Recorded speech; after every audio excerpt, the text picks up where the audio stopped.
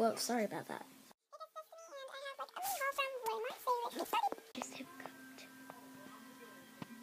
So the first thing I got was book two.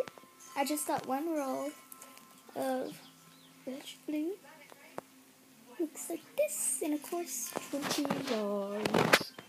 The next thing I got is like a little cubby drawer. I can't really explain it. So it's on my vanity desk. So let's Okay, go. so here it is. I'm not. I'm trying not to swing it over because in my last take I did it and it showed my school ID and it has my last name, my school and stuff. So I had to delete it. So here it is. Here's the sides. Then the front. It has a lip. This. Then like little drawer stuff. You want me to do a video on this in my vanity, I'm trying not to show my ID.